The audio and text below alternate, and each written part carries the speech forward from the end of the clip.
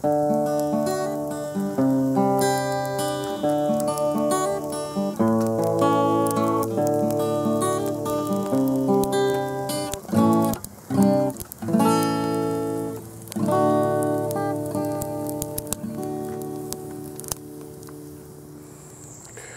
YouTubers, it's Artisan Tony and I have something pretty cool to show you today.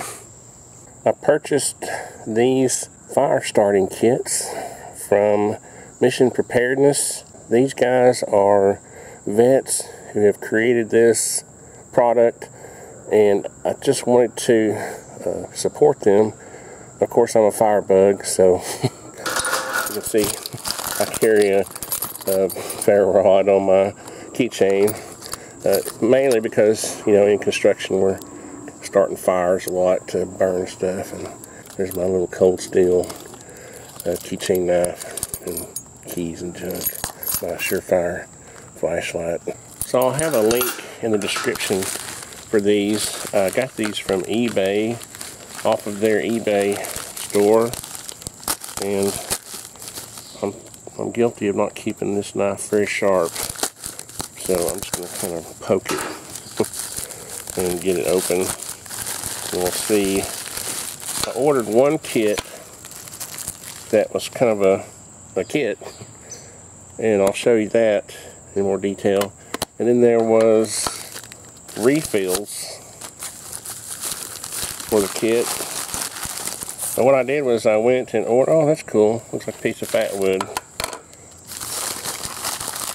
and I ordered another ferro rod because what I wanted was a complete kit to give away in our upcoming 10 year anniversary giveaway. So I'm collecting lots of stuff for our 10 year giveaway and it's just going to be huge. This is cool.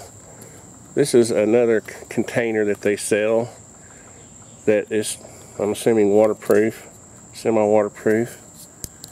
And it's just like a capsule with the ugly sticks. By the way, these are called ugly sticks.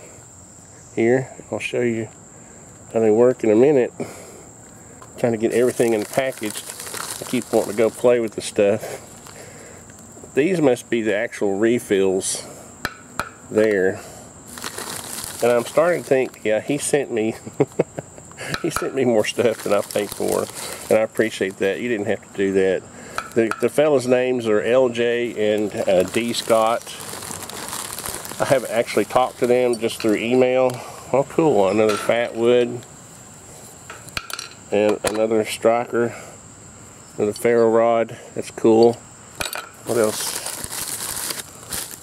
Another letter. Another so that looks like that's that. Got instructions on how to light it. So I apologize for the background noise. If you can hear it, some trucker, some diesel truck guy decided he wants to leave his diesel truck idling in the background of my video. Even though I live in a residential area, not sure where that's coming from. But what I thought I would do is just take some sticks, some small twigs, not really tender, and see if I could light them. This is all I could find quickly enough for the video. And it is kind of wet. It, just, it rained this morning. So this will be a good test. Let me get these sticks broken up. So what you do is you just ruffle up, ruffle the ends of the feathers. ruffle the feathers, just ruffle up the end. This kind of reminds me of my uh, lint logs that I've made. If you've never seen my uh, lint log videos, I'll put the link right here, maybe even some short video footage of how I take lint, dryer lint, and lay it out and use gel wax to make lint logs with and they burn for I think I think the longest test I've done is like 15 minutes now these aren't going to burn that long because they're smaller but it should work as a really good match uh, to get your tinder started Now they're showing a method where they're holding the ugly stick behind the knife and uh, then they're just striking the ferro rod. Well that worked pretty good actually. and I know people fuss at me for using the the sharp edge of my knife, but I don't care. Knives are tools to me, that's all. And uh, if I, they get dull, I sharpen it. So don't cry over the edge of a knife. So what I'm going to do is zoom in here a little bit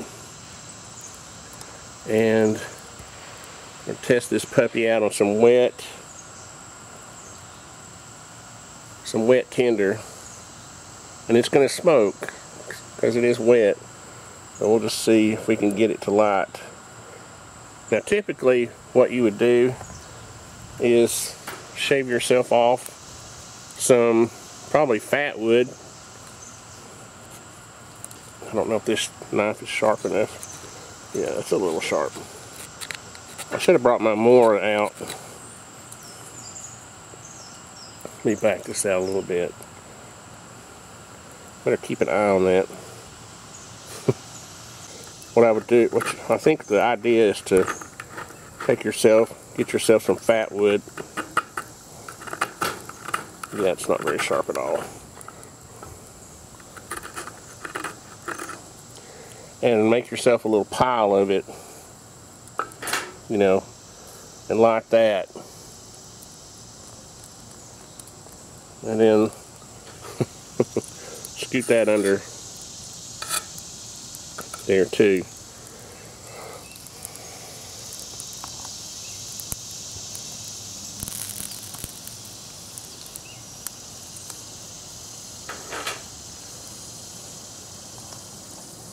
Now, these are, you know, they're billed as um, reusable matches, and you could, you could pull it out and put it out.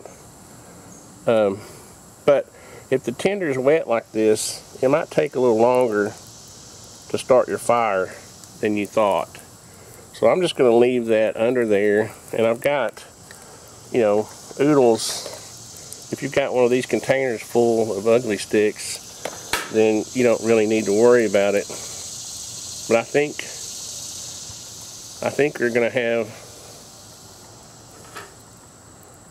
plenty of fire starting capability with just one if you've got wet tinder. Guys, I think that's a pretty good test. This, uh, like I said, this tinder was wet and I got it started pretty easily. And so I want to thank LJ. I'm getting smoked out. I want to thank LJ and D Scott. It's going to go out if I don't. It's funny when you're trying to make a video, you know, you can't tend your fire. It'll go out on you if you're not careful. I got to put some of these smaller twigs on the fire. I, don't, I didn't really put the right size twigs on in the right places. Anyway, I'll tend with this, and uh, thanks a lot. I'll put a link in the description and be ready for a giveaway guys. Um, a pretty big one um, coming up. Uh, like I said we're celebrating our 10 years and we're really excited.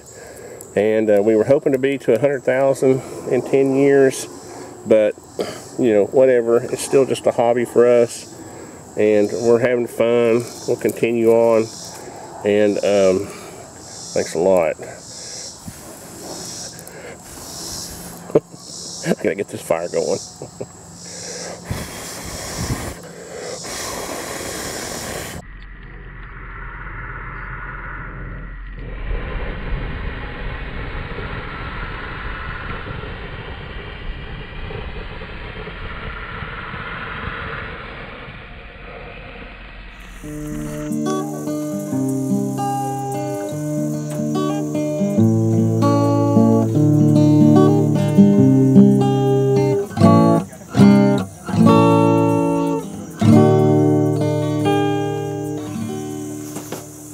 nice